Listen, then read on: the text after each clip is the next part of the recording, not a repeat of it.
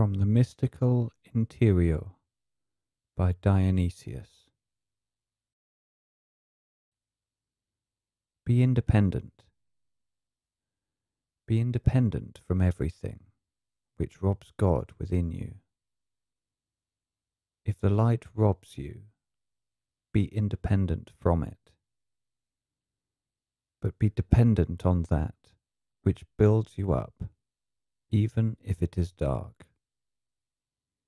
Evil, which builds you up, is more precious than good, which destroys you. Be dependent only on that which builds you up. This is what it means to be independent.